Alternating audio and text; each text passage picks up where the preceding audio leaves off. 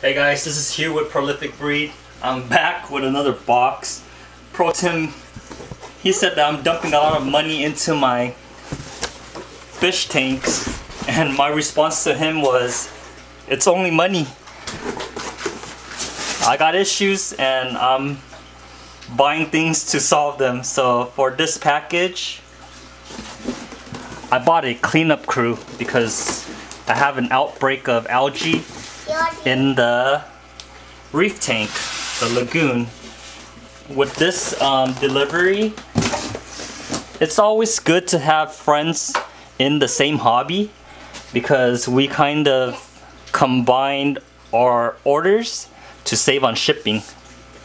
Um, Johnson, he bought a bunch of fish and also his cleanup crew. So I went ahead and added to his order. I got a peppermint shrimp in here. Wow, she looks berried. Has a bunch of eggs on the bottom of her. I don't know if you guys could see that. She looks berried, so I, I don't know anything about raising out um, marine shrimp, but hopefully I get a bunch of little babies. That's good news. I got a sea urchin pincushion. I don't know why, but I saw it on the list for only about six or seven dollars, so I went ahead and ordered. Um, I got two scarlet. No, not this one. Two scarlet hermit crabs in here.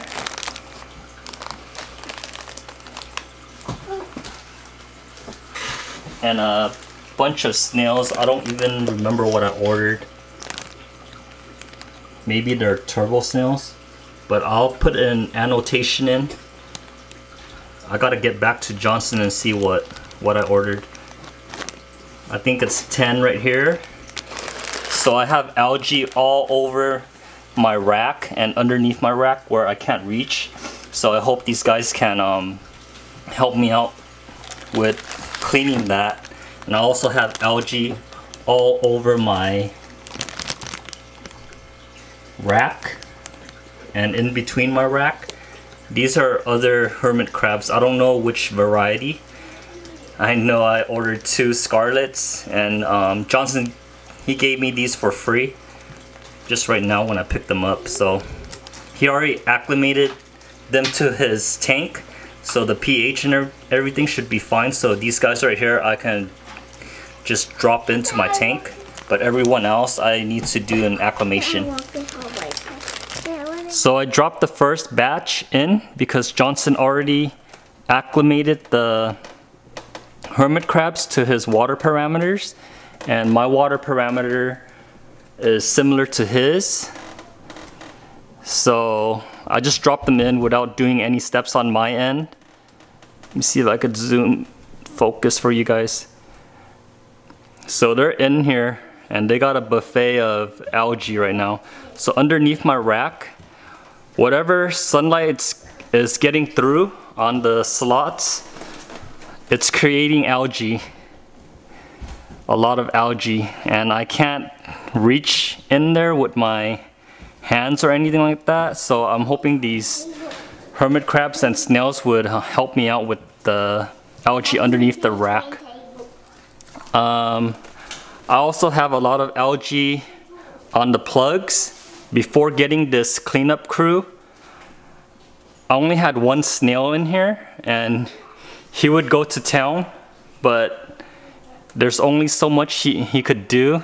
So some of the plugs you'll see like half of it is clean and then the other half has algae. He'll give up and then move on. But yeah, all of these new guys right here, I'm temp acclimating them and then I'll drip them in.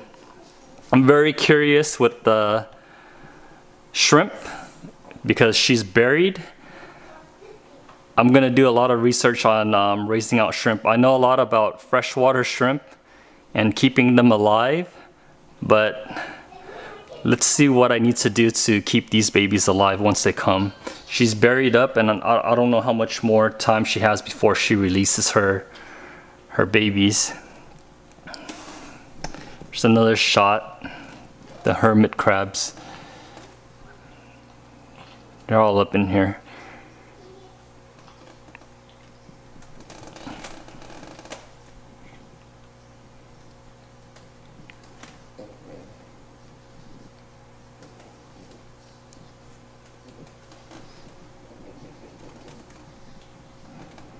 This is what I have so far. I temp acclimated them by floating them inside the tank and I took them out of the bag and put them in these red solo cups. Sea urchin, shrimp, snails, and two hermit crabs. So usually when I do acclimation, I, I do a drip acclimation, but since I have four things here at once. I don't want to make four drippers.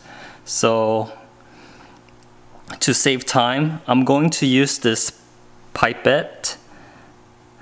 Um, it's a tool that I use to feed the corals. So when you squeeze this in, it'll suck in some water and you squeeze it again, water will come out. So every five or 10 minutes, I'll come by and I'll, I'll squeeze in some tank water to get them acclimated to my um, pH and all of the other parameters that I have. Let me get that going and we'll drop them in soon. I dropped everyone in. The shrimp is front and center. You can see her berries underneath her belly. So I'll keep an eye on her and see how things are going. All of the snails are in. They're all over the place. And some of them I, I dropped them strategically onto the plugs to let them work on that already. But I put them on the rack. Hermit crabs are in also, you can see one right here. And the sea urchin, I put them up on top. So I was looking at the clowns my small clown is getting a little worse. His tail is definitely um, messed up. So I medicated the tank with this Mila fix. I'm gonna do it for the next three days to see what's going on, but very disappointed that this is even happening with this new fish. I'll keep you guys updated, but I'm not keeping my hopes up. He looks really bad. Um, kind of spotted issues in the beginning, but I didn't know for sure. And it looked like he was getting better. But then all of a sudden, overnight, it just looks really bad today. He's still trying. Should I help him? Or just let him learn? Oh my god.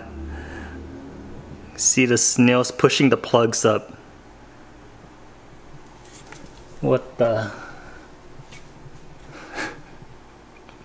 I don't know if you guys could see that.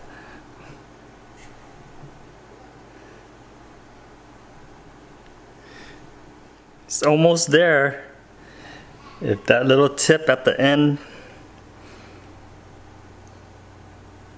See how strong he is. Keep an eye on this guy.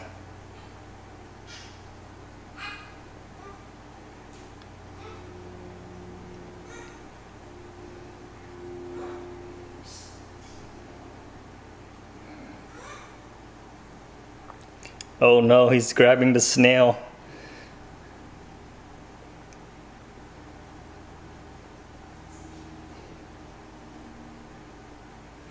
Alright, I don't want to waste too much of your time. These guys are doing great. They're fun to watch also. I'm gonna end the video here. Thank you guys for watching. Looks like he's on.